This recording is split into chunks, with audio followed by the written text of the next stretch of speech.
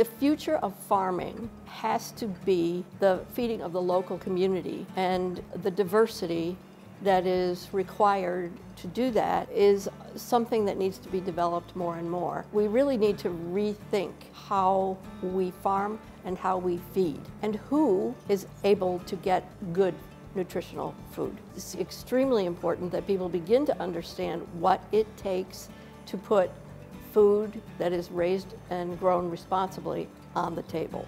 Sprout Creek Farm is a 501c3, and so we're a nonprofit organization. Our, and it's mission based. Our mission is education. And what we do is invite children and schools to come here and participate in the farming aspect of our business to learn uh, and have a greater connection to the earth and to have a greater understanding of the stewardship of our home that we live on earth.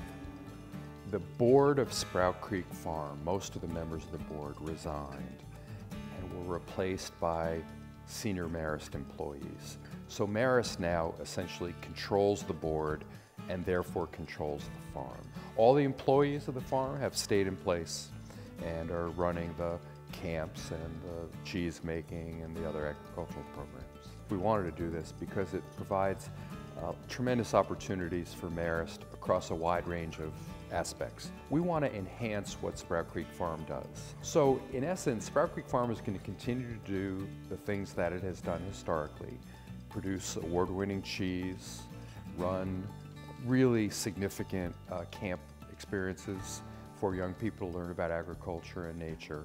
But we're hopefully going to sort of up the game over time and get our students and faculty and staff involved in all kinds of ways. I'd say there's about a million ideas right now and it's about sorting them through. We're, we're excited to, to invite the Marist students on campus just to, to, to see uh, what, what Creek Farm is. Uh, you can teach anything on a farm from economics to uh, I guess astrology or, or you know marketing. You know obviously sciences are well applied. As a full functioning education facility and being a full functioning dairy farm to where you know, if you're partaking in the chores, like that milk you're helping create is actually, it's not a demonstration. That milk goes into our tanks uh, and is made into cheese and it's made into the final product. That, that becomes award-winning product. That's exciting for people to be able to experience it and to see it firsthand. It's a better connection.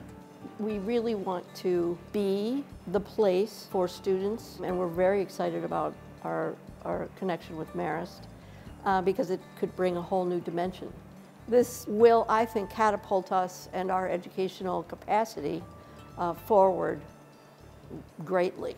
So this farm, this farm that was in existence before, I think, before the American Revolution, will continue on and it will do the work that Elise Kincaid dreamed of.